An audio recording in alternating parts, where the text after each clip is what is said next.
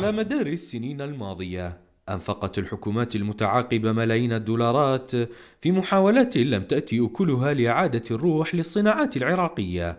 على العكس تماما مما حدث في ساحة التحرير ببغداد حيث استطاعت مبادرة صغيرة كانت بدايتها لمجموعة من الفتيات والشبان من إطلاق حملة لدعم المنتوج المحلي تبلورت واكتملت لتصبح معرضا أقيم اليوم الجمعة في نفق السعدون بعد أن لاقت رواجا كبيرا على مواقع التواصل الاجتماعي.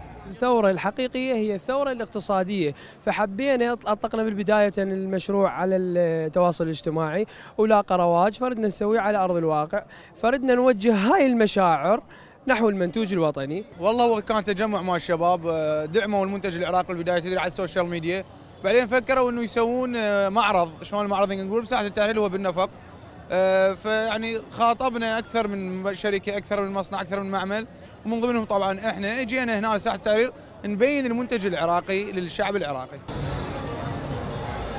حملات الترويج للمنتج المحلي انعشت الصناعة المحلية وباتت تعطي حافزا ايجابيا للصناعيين لزيادة الإنتاج والانفتاح أكبر على السوق ومتطلباتها فتشغيل المعامل والمصانع بطاقة إنتاجية كاملة يزيد الحاجة للأيدي العاملة ويساعد في بقاء العملة الصعبة داخل البلاد بحسب مختصين.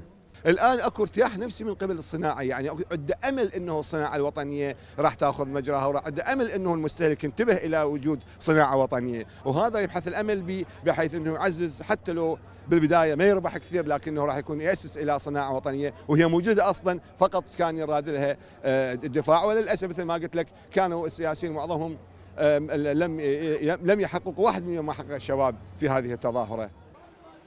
المبادرات الشبابية التي رافقت التظاهرات السلمية في البلاد أعطت مزيدا من الرسائل الوطنية التي أثارت الرأي العام وجعلت التعاطف معها واقع حال على الأرض كهذه المبادرة التي ساهمت في تنشيط الإنتاج المحلي وإعادة الإقبال عليه بحسب مراقبين من بغداد محي الأنصاري ام بي سي عراق